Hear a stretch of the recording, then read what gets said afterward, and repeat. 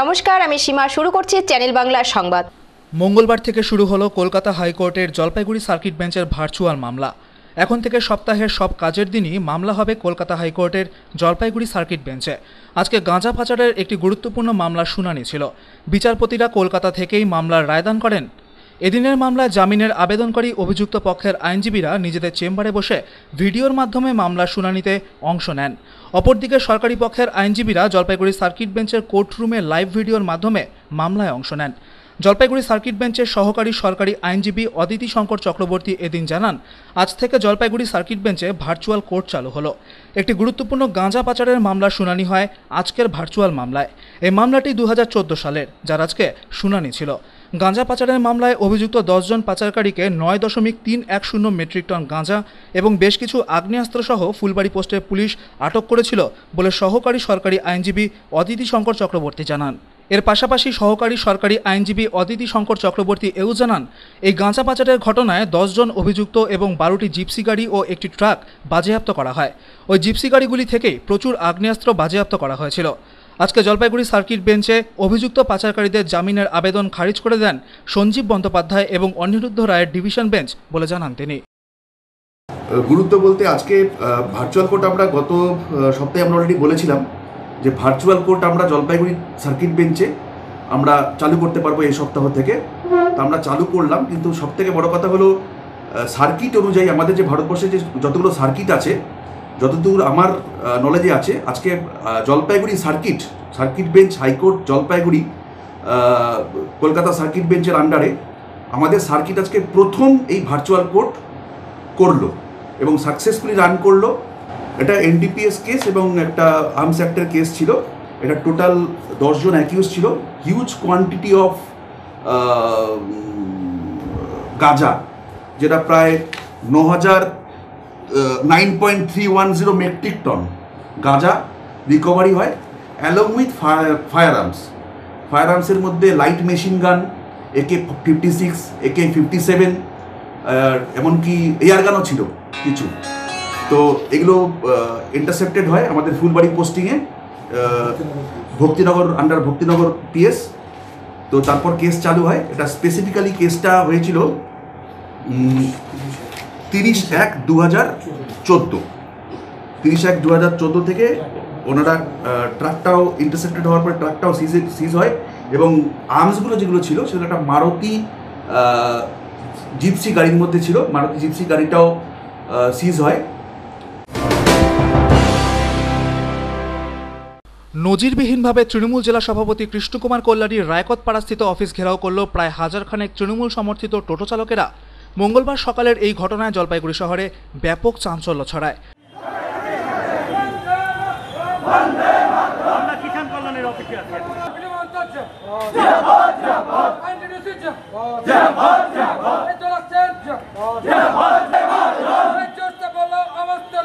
জানা গেছে, টোটো চালকেরা একটি বিক্ষোভ মিছিল বের করে সরাসরি দলীয় জেলা সভাপতি কৃষ্ণকুমার কল্যাণীর অফিসে এসে ঘেরাও বিক্ষোভ করতে থাকেন। বিক্ষোভকারীদের দাবি, দিন সাতেক আগে জলপাইগুড়ি শহর সংলগ্ন রংধামালি এলাকায় এক টোটো চালককে অন্যায়ভাবে হেনস্থা করা হয়। যেহেতু ওই এলাকা তৃণমূল পরিচালিত গ্রাম পঞ্চায়েতের অন্তর্গত, সেহেতু তৃণমূল অনুমোদিত ইউনিয়নের সদস্যরা জেলা সভাপতি কৃষ্ণকুমার কল্যাণীর কাছে ন্যায় বিচার চেয়ে আবেদন জানান। কিন্তু সাত দিন পেরিয়ে গেলেও কৃষ্ণকুমার কল্যাণী কোনো উদ্যোগ নেননি বলে অভিযোগ তাদের। তাই মঙ্গলবার জলপাইগুড়ি শহরে বিভিন্ন স্ট্যান্ড থেকে টোটো চালকেরা একত্রিত হয়ে কৃষ্ণকুমার কল্যাণীর রায়কতপাড়াস্থিত কার্যালয়ে এসে বিক্ষোভ দেখাতে থাকেন। তাদের দাবি, যতক্ষণ না পর্যন্ত তাদের দলীয় জেলা সভাপতি আশ্বাস দিচ্ছেন, ততক্ষণ তারা ঘেরাও বিক্ষোভ তুলবেন না। এ বিষয়ে জেলা সভাপতি কৃষ্ণকুমার কল্যাণীর কোনো বক্তব্য পাওয়া যায়নি। কৃষ্ণকুমার কল্যাণীর অনুগামীরা জানিয়েছেন, তিনি শহরের বাইরে রয়েছেন। অন্যদিকে তৃণমূল অনুমোদিত টোটো ইউনিয়নের নেতা বাপ্পা সরকার জানালেন, দলীয় নেতাদের একাধিকবার বলা সত্ত্বেও কোনো উদ্যোগ না নেওয়ায় তাদের এই ঘেরাও বিক্ষোভ। আজকের যে ঘেরাওটা আমাদের সাত থেকে দশ দিন আগে আমাদের চার পাঁচজন ড্রাইভারকে রংনামালিতে মারছিল সেটার ব্যাপারে আমরা সভাপতিকে জানাছিলাম সাত দিন পার হয়ে গেছে সভাপতি কোনো স্টেপ নেয়নি। জেলা সভাপতি? জেলা সভাপতি কোনো স্টেপ নেয়নি। কিষাণ কুমার কল্যাণী যার জন্য আমাদের ড্রাইভাররা একটা ভয়ে ভুগতেছে যে আমরা এইভাবে টোটো চালাবো কেমন করে যার যখন ইচ্ছা হবে তখন মারবে। তা জলপাইগুড়িতে একটা বড় টোটো সংগঠন আছে যার সেক্রেটারি সভাপতি হচ্ছে মিঠু মহন্ত আইএনটিডিসি আমরা তাকে জানাচ্ছি এবং আজকে আমাদের যত ড্রাইভার আসছে আরও ড্রাইভার আসবে সবাই ক্ষিপ্ত হয়ে আসছে আমাদের এই ড্রাইভারকে মারার প্রতিবাদের উত্তর আমরা চাই চাচ্ছি। না এরকম কোনো ব্যাপার না যে কোনো জরুরি পরিষেবা সব কিছু দিতে বলা হয়েছে। যে কোনো জরুরি পরিষেবার জন্য কোনো টোটো বন্ধ থাকবে না। আমাদের ড্রাইভাররা মেজরিটি পার্সেন্ট সব স্ট্যান্ডের থেকেই আসে। কেন তাদের মারা হলো? তার কোনো কিছু জানতে পেরেছেন না জানতে পারিনি জন্যই তো সব এটাই তো জানতে চাইছি আমরা। কে মেরেছে? কোনো নিজেদের আপনাদের দলেরই কেউ? ঘাতক রঙ্গামালি এলাকা হচ্ছে রঙ্গামালি এলাকাটা আমাদের আমাদের পার্টির দখলেই আছে তার জন্য আমরা মনে করতেছি যে ওখানকার লোক জানতে তো পারবে কে মারছে জলপাইগুড়ি টাউনের থেকে তার রঙ্গামালি তো বাইর করা সম্ভব না কবে ঘটনা হয়েছিল সাত থেকে আট দিন হলো তো জেলা সভাপতির বাড়িতে আসতে কেন আমরা তার আগেও ওনাকে জানাইছি উনি আমাদের কোনো সুবিচার দেয়নি আজকে তার জন্য কড়া পদক্ষেপ নেওয়া উনি যতক্ষণ না আসবে ততক্ষণ এই অফিস ঘেরাও করে থাকবে আরও ড্রাইভার আসবে আরও ইয়ে হবে আজকে আমাদের উত্তর চাই এনজিপি থানার অন্তর্গত ফুলবাড়ি দুই নম্বর গ্রাম পঞ্চায়েতের বাসিন্দা মরিয়াম নেছা জানিয়েছেন, তিনি তার জমি বিক্রির কথা এলাকায় জানিয়েছিলেন। এটা জেনে জমি বিক্রির জন্য তার কাছ থেকে জমির দলিল নিয়ে যান ওই এলাকার কয়েকজন বলে জানান মরিয়াম নেছা। কিন্তু সেই দলিল চাইতে গেলে ফেরত দিচ্ছেন না তারা বলে অভিযোগ জমি মালকিনের। গত তেসরা জুন ফের দলিলটি চাইতে গেলে তারা সেটি না দিয়ে উল্টে বাড়িতে এসে মারধর করে বলে অভিযোগ মরিয়াম নেছার। নিউ জলপাইগুড়ি থানায় এ বিষয়ে অভিযোগ জানালেও থানা থেকে কোনো রকম ব্যবস্থা নেওয়া হয়নি বলেও জানান তিনি। ফলে বাধ্য হয়ে জেলা আদালতে দ্বারস্থ হয়েছেন তিনি বলে জানালেন। বিক্রি করতে চাইছি। দলিল নিচে এখন আমি দলিল চাইতে যাই দে, আমার ছেলেটাকে কাজে যায়। কাজের মত্রে রাস্তার মধ্যে ধরে এনে পছন্দ মাইতে ওরে এনে আমার ছেলেটা হাতে একটা আংটি ছিল সোনার, আর আমা- আমার গালায় একটা সোনার কিনে চান ছিল আর কিনে হচ্ছে ষোলো হাজার টাকা ছিল। ওরা সবাই মিলে আসে এনে মাইফিট করে এনে নিয়ে চলে গেছে। জমির কি হয়েছিল আপনাদের? জমির দলিলটা আমরা জমি বিক্রি করতে চাইছি দলিলটা এখন দেয় না। এখন দেয় না ওরা এখন ওরা সবাই মিলে এনে নয়জন মিলে এনে আমাকে তিনি খোঁজে মাইপিট করে। আজকে আমরা কোর্টে যাচ্ছি থানাতে অনেকগুলো কেস জমা দিছি কোনো বিচার করল না। থানা থেকে যায় না কিছু বলে না। তারপরে তিনি হচ্ছে ওই জয়নাল অফিসার গেছে জয়নাল অফিসারের সাথে। তিনি যে ইয়াজুদ্দিন মাহমুদ আমার ছেলেকে ধরে এনে মারপিট করে। আজকে কি ফল পেলেন? আজকে ফল কি আমরা কোর্টে এখন দিয়েছি এখন কি হয় এখান থেকে দেখা যাও এ বিষয়ে ফুলবাড়ি দুই গ্রাম পঞ্চায়েতের প্রাক্তন প্রধান নগেন্দ্রনাথ রায় জানালেন, দলিল চাইতে গেলে তা না দিয়ে বাড়িতে ঢুকে মারধর করেন এলাকার দুষ্কৃতীরা। ফলে বাধ্য হয়ে সঠিক বিচার চাইতে প্রথমে পুলিশ কমিশনারকে ও জলপাইগুড়ি জেলা পুলিশ সুপারকে লিখিতভাবে ঘটনাটি জানিয়েছেন বলে জানালেন নগেনবাবু। এরপর আইনজীবীর মাধ্যমে তারা জেলা আদালতে দ্বারস্থ হয়েছেন, জমির দলিলটি উদ্ধারের জন্য বলেও জানান নগেনবাবু। ওই জমির দলিলটা ওদের কাছে ছিল, মাফিয়াদের কাছে ল্যান্ড মাফিয়াদের কাছে, দলিল দলিল। চাইতে গেছিল বহুবার, কিন্তু দলিল আর দেয়টা না। তারপরে এরা তো বারবার দলিল চাইতে যায়, দেয়, দলিল দেয় না, উপরন্তু এদেরকে ধমকি দেয়। আর ওই দিনকে ধমকি সকালবেলা গেছিল তিন তারিখ হ্যাঁ তিন ছয় দুই হাজার কুড়ি। তিন তারিখে সকালবেলা গেছিল ছটার সময় দলিলটার জন্য। উল্টো ওদেরকে খুব ধমকি টমকি দিয়েছে, দিয়ে এরা তো বাড়ি চলে আসছে, তারপর কিছু লোকজন নিয়ে গিয়ে ওর বাড়িতে চলা হয়ে ওদের ওর ছেলেকে মারধর করছে, ওকেও মারধর করছে মরিয়মকে ছেলে তো মাটিতে অজ্ঞান হয়ে পড়ে যায়, ও তখন ওই ইয়ে হাসপাতালে ভর্তি ছিল ও ডাক্তারি চিকিৎসা টিকিৎসা করেছিল মরিয়ম। হ্যাঁ তো আর থানায় ডায়েরি করেছিল কিন্তু কোনো ব্যবস্থা নেয়নি থানায়। ডায়েরি করা? কিন্তু কোনো ব্যবস্থা নেয়নি। যার জন্য আমরা বাধ্য হয়ে পুলিশ কমিশনারের কাছে আর এসপির কাছে আমরা জানাইছি। তো ওটা আবার আজকে কোর্টে কেসটা সাবমিট করা হলো। এখন দেখা যাক কোর্টের থেকে কী ব্যবস্থা হয়। বিষয়টি সম্পর্কে মরিয়াম নেছার আইনজীবী রাজস্বী ভৌমিক জানালেন, সিজিএম আদালতে দুশো পঁচানব্বই, তিনশো সাত জামিন অযোগ্য ধারায় অভিযুক্তদের বিরুদ্ধে মামলা দায়ের করা হয়েছে।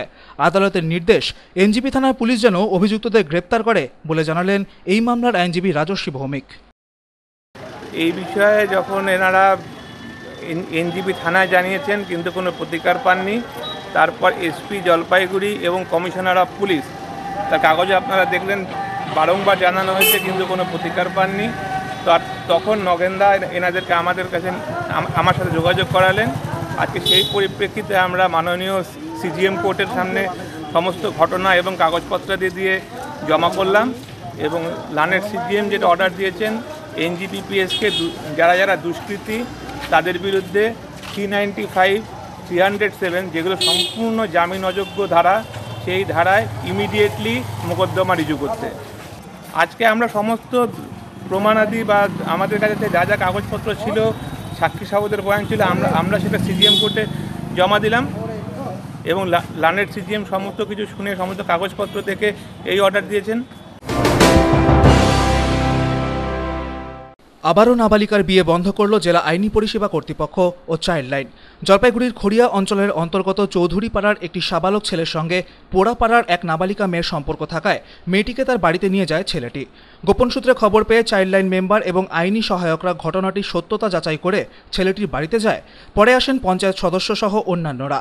এরপর দুই পরিবারের সদস্যদের একত্রে বসিয়ে বাল্যবিবাহ আইন ও পক্সো আইন সম্পর্কে বোঝানো হয়। খড়িয়া অঞ্চলে কর্মরত আইনি সহায়ক মনোজ কুমার রায় জানান, পনেরো বছরের নাবালিকা মেয়ে চৌধুরীপাড়ার এক সাবালক ছেলের সঙ্গে পালিয়ে আসে। তিনি আরও জানান, বিয়ের পরিকল্পনা করা হয়েছিল বলে গোপন সূত্রে খবর আসে। এরপরেই সাবালক ছেলে এবং নাবালিকা মেয়েটিকে বোঝানো হয়, মেয়েটি প্রাপ্তবয়স্ক না হওয়া পর্যন্ত তার বাবা মায়ের সাথে থাকবে। এখন মেয়েটির পড়াশোনা করার বয়স। যাতে মেয়েটি পড়াশোনা করে এবং বাড়িতে কোনো প্রকার অসুবিধা না হয়, সেজন্য মেয়েটির পরিবারকে চাইল্ড লাইনের প্যাম্পলেট দেওয়া হয়েছে বলে মনোজবাবু জানান। এমনকি ছেলেটি সাবালক হওয়া সত্ত্বেও ভুল সিদ্ধান্ত নিয়েছে। এই কারণে কি কি সমূহ বিপদের সম্ভাবনা রয়েছে, সে সম্পর্কে ছেলেটির পরিবারকে সচেতন করা হয়েছে। মনোজবাবু বলেন, দুই পরিবারকে এই মর্মে অঙ্গীকারবদ্ধ করানো হয় যে, মেয়েটি আঠারো বছর না হওয়া পর্যন্ত নিজের বাড়িতেই থাকবে। তবে ঘটনার পুনরাবৃত্তি হলে সাবালক ছেলেটি এবং নাবালিকা মেয়েটি আইন অনুযায়ী সাজা পেতে বাধ্য থাকবে। লকডাউন এবং আনলক ওয়ানের মধ্যেও এই ধরনের ঘটনা বারবার ঘটছে। এই নিয়ে চার থেকে পাঁচটি ঘটনা কেবলমাত্র খড়িয়া অঞ্চল সংলগ্ন এলাকাতেই ঘটেছে বলে উদ্বেগ প্রকাশ করেন মনোজবাবু। এখানে মেয়ের বয়স পনেরো বছর এবং ছেলেটি একুশ উত্তীর্ণ। এবং চলে এসছে মেয়েটি যে আমি এই পরিবারে এই ছেলেটিকেই বিয়ে করব, যেহেতু তার সাথে একটা দীর্ঘদিনে ভালোবাসার সম্পর্ক ছিল। মেয়েটি ঠিক বুঝতে পারেনি এবং দশম শ্রেণীতে একটি বিদ্যালয়ে পড়ছে মেয়েটি। আগামীতে যাতে সে বিদ্যালয়ে ঠিকমতো যায়, পরিবারে সে যাতে সুরক্ষিত অবস্থায় থাকে এবং পরিবার যাতে তাকে সুরক্ষিত রাখে, সেই ব্যাপারেও তার বাবা মাকে আমরা জানিয়ে দিই এবং তার সাথে সাথে এই যে সাবালক ছেলে, সেও যাতে আর ভুলবশত মেয়েটিকে তার কাছে টেনে আনবার জন্য কোনো উদ্যোগ না নেয় এবং তাতে যে তার বিপদ এবং আইনত সে যে পক্সো কেস যেটা রয়েছে, সেখানে সে জড়িয়ে যেতে পারে, সেটাও জানানো হয়। যদিও আমরা তৎক্ষণাৎ ক্ষমতায় চলে এসেছি এবং মেয়েটিকে আমরা তুলে দিতে পেরেছি, এই জন্যে আমাদের খুব ভালো লাগছে গত পরশু দিন আমি জানতে পারি লোকের মারফতে যে একটি একটি মেয়ে, একটি ছেলে বাড়িতে চলে গেছে। মেয়েটির নাম বিউটি রায় ছেলেটির নাম হলো দিলীপ সিংহ। বাড়ি, মেয়েটির বাড়ি পোড়াপাড়া, ছেলেটির বাড়ি চৌধুরীপাড়ায় দুটোই আমার এলাকায় আমি পোড়াপাড়া চৌধুরীপাড়ার পঞ্চায়েত সদস্য। তা দুটো যে আসার পরে চারজন থেকে খবর আসে আমার কাছে যে গোপন মারফত ওরা জানতে পারে যে মেয়েটি ছেলের বাড়িতে গিয়ে উপস্থিত ছেলে, ছেলের বাড়ি থেকে আসবে না। চাইল্ড লাইনের সদস্যরা ওখানে গিয়ে মেয়েটিকে অনেকভাবে বোঝায়, ছেলেটিকেও বোঝায়, ছেলেটির গার্জেন মেয়েটির গার্জেনকে বোঝায়। উভয় পক্ষ বুঝিয়ে এখন মেয়েটিকে যেহেতু আঠেরো বছর হয়নি, পনেরো বছর ছ মাস মেয়েটির বয়স, ছেলেটি সাবালক। তা মেয়েটিকে বুঝিয়ে সুঝিয়ে মেয়েটির মার হাতে তুলে দেওয়া হয়। এমনকি চাইল্ড লাইন থেকে ওদেরকে বলা হয় যে যদি কোনো রকম আর্থিক মানে পড়াশোনার ক্ষেত্রে সহযোগিতা লাগে, চাইল্ড লাইন সমস্ত সমস্ত রকম সহযোগিতা করবে। আর আমিও পঞ্চায়েত সদস্য হিসেবে যতখানি করার লাগে ততখানি আমি ওদেরকে হেল্প করব। এখন মেয়েটিকে, মেয়েটির বাড়িতে গার্জেনের হাতে মা মা, বাবা দুজনে গিয়েছিল মার হাতে, বাবার হাতে তুলে দেওয়া হয় এবং ছেলেটির বাবার হাতে বাবাকেও বলা হয় যে যতদিন মেয়েটি আঠেরো বছর পূর্ণ না হয় ততদিন এদের মধ্যে যদি একটা সুসম্পর্ক থাকে, আর কি ফোনের মাধ্যমে যোগাযোগ, কেউ কারও বাড়িতে গিয়ে থাকবে না, তাহলে আঠেরো বছর পার হলে মেয়েটির ওদের রেজিস্ট্রি ম্যারেজ করে, আনুষ্ঠানিকভাবে যাতে বিয়ে হয়, এটাই আমি চাচ্ছি। বর্ষার ইলিশের অপেক্ষায় ভোজন রসিক বাঙালি। এখন বাজারে যে ইলিশ মাছ মিলছে, তার দাম কেজি প্রতি প্রায় সাতশো থেকে আটশো টাকা। লকডাউনের মধ্যে একদিকে এই মাছের আকাশ ছোঁয়া মূল্য তার উপর স্বাদও অমিল তাই মাছ বাজারে ইলিশের মতো দামি মাছের ব্যাপারে ক্রেতার অভাব রয়েছে, ফলে ইলিশ বিক্রি অনেকটাই কম বলে জানিয়েছেন বিক্রেতারা। এদিন দিনবাজারে আসা এক ক্রেতার কথায়, বর্ষার ইলিশ যতক্ষণ না মিলছে, ততক্ষণ এই ইলিশে সেই স্বাদ পাওয়া যাবে না, বলে জানান তিনি। বর্ষায় বাংলাদেশের ইলিশের সবচেয়ে বেশি চাহিদা থাকে বাজারে। স্বাদে, গন্ধে বাংলাদেশের ইলিশ অতুলনীয়। আর বর্ষায় ইলিশের রকমারি পদ বাঙালির হেঁসেলে বরাবরই জনপ্রিয়। তাই এই সময় চাহিদা থাকলেও দামের ঊর্ধ্বমুখী অবস্থায় ইলিশ কিনতে খানিকটা অপারক ক্রেতারা। একেতেই লকডাউনের জেরে দেশজুড়ে যানবাহন পরিষেবাও বিঘ্নিত হয়েছে, যার জন্য অল্প পরিমাণে ইলিশ মাছ আসছে। তারপর পেট্রোল ও ডিজেলের দাম বাড়ায় যেসব ইলিশ মাছ বাজারে মিলছে তা মহার্ঘ বলে সকলেই মনে করছে। তাই বর্ষার স্বাদ ভরা বা ডিম ভরা ইলিশের জন্য আরও কিছুদিন অপেক্ষা করতে হবে ভোজন রসিক বাঙালিকে। বর্ষা ইলিশ এখনও ঢুকে নেই মানে একদিন ঢুকছিল খুবই পাতলা। মানে মনের মতন না। কবে নাগাদ ঢুকবে আশা করছি এই প্রায় বুধ করে ঢুকে যাবে। মানে এখন কি ধরনের ইলিশ বিক্রি হচ্ছে? এখন ওই স্টোরে ইলিশ বিক্রি হচ্ছে চারশো পাঁচশো গ্রাম ওজনে আটশো টাকা। আর কিছু মাছ বাংলার এদিকে ওই দিকে আসতেছে। আঠারোশো দুই হাজার এদিকে বাংলাদেশের ইলিশ কবে ঢুকবে আশা করছেন? এখনও সাত দিন দেরি আছে।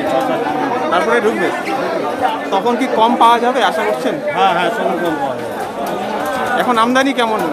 একেবারে নেই আমি বিক্রি মাছই নেই ডিমান্ড প্রচুর আছে। মানে বর্ষার ইলিশ আসলে কি ডিমান্ড আরও বাড়বে মনে করছে আরও হ্যাঁ।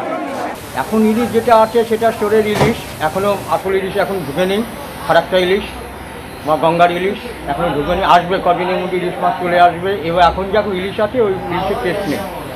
বলে লাভ নেই। আর যে ইলিশটা আসবে সেটা খেয়ে মজা এবং গরিব মানুষও দুশো তিনশো সাড়ে তিনশো করে ইলিশ মাছ কিনে খেতে পারবে।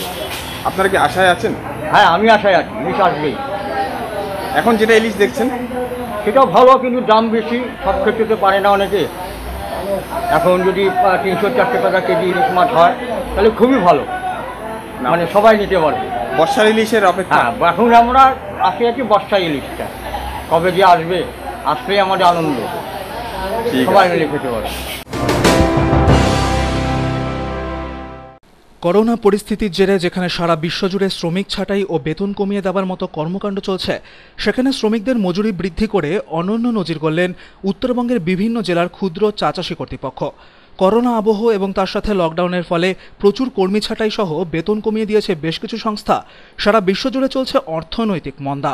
ধুঁকতে থাকা বিভিন্ন সংস্থাগুলি টিকিয়ে রাখাই একরকম চ্যালেঞ্জ হয়ে দাঁড়িয়েছে। এমন পরিস্থিতিতে ক্ষুদ্র চাচাশি সমিতি থেকে শ্রমিকদের মজুরি একশো পঞ্চাশ টাকা থেকে বাড়িয়ে একশো উনষাট টাকা করা হয়েছে বলে জানান জলপাইগুড়ি জেলা ক্ষুদ্র চাচাশি সমিতির সম্পাদক বিজয় গোপাল চক্রবর্তী। বিষয়টি নিয়ে মঙ্গলবার জলপাইগুড়ি আইটিপিএ হলে একটি গুরুত্বপূর্ণ বৈঠক করেন বিজয় গোপাল চক্রবর্তী। বৈঠকের মধ্য দিয়ে শ্রমিকদের মজুরি বৃদ্ধি করা হয়েছে বলে জানানো হয়। স্থায়ী ও অস্থায়ী মিলিয়ে এই মুহূর্তে উত্তরবঙ্গে প্রায় এক লক্ষ চা শ্রমিক রয়েছেন। এই সমস্ত ক্ষুদ্র চা শ্রমিকদের সুবিধার কথা চিন্তা করেই এমন সিদ্ধান্ত নেওয়া হয়েছে বলে জানান উত্তরবঙ্গের ক্ষুদ্র চাচাশি সমিতির সম্পাদক বিজয় গোপাল চক্রবর্তী। আজকে এখানে আমাদের মুখ্য যে আজকে একটা প্রেস কনফারেন্স করছি যে উত্তরবঙ্গে প্রায় এক লক্ষাধিক স্থায়ী অস্থায়ী মিলে শ্রমিকরা আমাদের ছোট চা বাগানে আছে কাজ করছে। আমরা আজকে এখানে শ্রমিকদের হাজিরা বৃদ্ধি নিয়ে একটা বড়সড় ঘোষণা করতে চলেছি। আপনারা জানেন যে সারা পৃথিবীতে যেখানে কর্মচ্যুতি হচ্ছে মানুষ মায়না পাচ্ছে না চাকরি চলে যাচ্ছে। সেখানে ক্ষুদ্র চা চাষিরা একটা সোশ্যাল রেসপন্সিবিলিটি তাদের আছে। তাদের যারা শ্রমিক ভাই বোনেরা তারা তাদের পরিবারের মতো তাদের মুখের দিকে চাকিয়ে শত কষ্ট সত্ত্বেও তারা একটা কঠিন সিদ্ধান্ত আজকে নিতে চলেছে। সেটাই আপনাদেরকে আমরা জানাব। এখানে কারা কারা থাকবে? এখানে জলপাইগুড়ি জেলার বিভিন্ন জায়গা থেকে আগত ক্ষুদ্র চা চাষি সংগঠনগুলির যারা প্রতিনিধি তারা থাকবে নিয়ে নিচ্ছি ছোট্ট একটি বিরতি ফিরে আসছি বিরতির পর। মাছের আমি মাছের তুমি। মাছ দিয়ে যায় চেনা। হ্যাঁ মাছ দিয়ে যায় বাঙালিকে চেনা। আপনি কি মাছ চাষ করছেন? পুকুরে ট্যাঙ্কে অথবা বায়োফ্লকে? তাহলে চলে আসুন জলপাইগুড়ির একমাত্র মাছ চাষের সরঞ্জামের ঠিকানা মাছের কথায়। মাছের চারা থেকে মাছের খাবার এয়ার পাম্প থেকে মেডিসিন টারপলিন থেকে টেস্টিং কিট এসবই এখন পাওয়া যাচ্ছে একই ছাদের তলায়। আমাদের ঠিকানা মাছের কথা কলেজ পাড়া এবিপিসি মাঠের বিপরীতে জলপাইগুড়ি।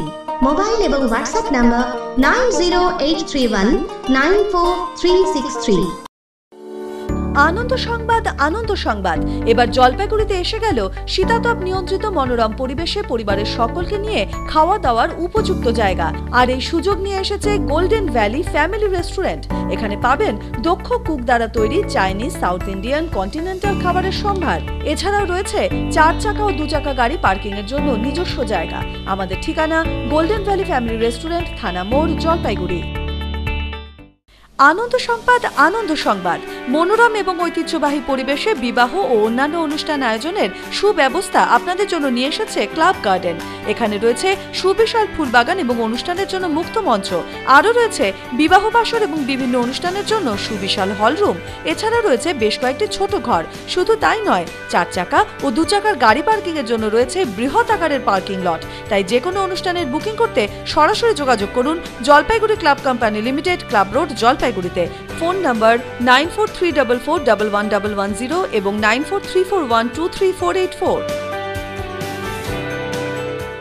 আপনি কি মার্বেলের বিপুল সম্ভার থেকে আপনার পছন্দের মার্বেলের কিংবা গ্রানাইট ইত্যাদি বেছে নিতে চান? তাহলে চিন্তা করছেন কেন? জলপাইগুড়ি শহরের রাজবাড়ি গেটের উল্টো দিকে আপনার জন্য অপেক্ষা করছে সানরাইজ মার্বেলের সুবিশাল শোরুম। যেখানে আপনি পাবেন সব ধরনের মার্বেল, গ্রানাইট, টাইলস কোটাস্টোন ইত্যাদি। বিভিন্ন ডিজাইনের সঙ্গে এখন থাকছে ছোট বড় রকমারি সাইজও তাই সোজা চলে আপনি কি বিভিন্ন সমস্যায় জর্জরিত? এই সমস্যাগুলির পেছনে আপনার কোনো গ্রহদোষ নেই তো? এই সমস্যার কারণ ও প্রতিকার জানতে যোগাযোগ করুন শ্রী অনির্বাণ গোস্বামীর সঙ্গে, যিনি এমএসসি ইন কেমিস্ট্রি পাস এবং কৃষ্ণমূর্তি পদ্ধতিতে জ্যোতিষ গণনা করে থাকেন। আজই যোগাযোগ করুন seven eight seven two seven two three nine seven six এখন এমআই স্টোর জলপাইগুড়িতে প্লাম প্লাজা প্যাটেলুন্সের গ্রাউন্ড ফ্লোরে এমআই স্টোরে পাচ্ছেন এমআই ফোন নোটপ্যাড ক্যামেরার বিপুল সম্ভার। আর পাবেন আধুনিক যুগের পছন্দের এমআই টিভি মনে রাখবেন এমআই স্টোর হল কম্পিউটার প্লাজার একটি নতুন উদ্যোগ। কম্পিউটার প্লাজা মানেই কুড়ি বছরের বিশ্বস্ত প্রতিষ্ঠান। এমজি রোড সেন্ট্রাল গার্লসের পাশে। Phone number nine four three four zero zero five nine double three